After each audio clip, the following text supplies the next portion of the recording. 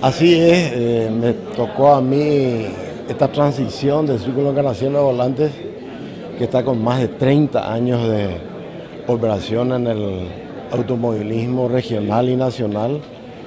Y es así, tenemos un desafío muy grande, estamos estrenando esta comisión con el desafío de llevar el Codasur a Itapú, así que es una gran tarea que tenemos por delante. Claro que sí. ¿Y cómo están los preparativos, presidente, para lo que va a ser la primera válida, nada más y nada menos del Codasur y la segunda del Campeonato Nacional? Así estamos, estamos ya en coordinación con la gente del Turi, el CPD y toda la gente, estamos empezando a recorrer los caminos. Las autoridades de todos los municipios de aledaños están todas alertadas, las, autoridades naturales también ya están participadas del gran evento.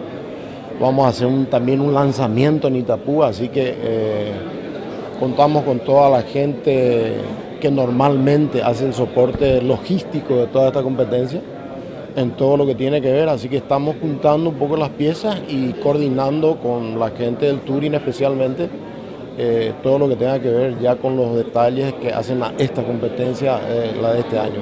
¿Y qué podemos adelantar de los caminos, eh, el parque de asistencia, algunas novedades para este año? Y tenemos algunas novedades, que el circuito digamos, estrella va a ser que queremos hacer una, prueba especial en el Molino, que es ya muy conocido, la playa San José, que también estamos tratando de incorporar al mismo Zambódromo para hacerlo, este, incorporarlo dentro de la especial, así que eso va a ser un espectáculo que va a llevar muchísima gente.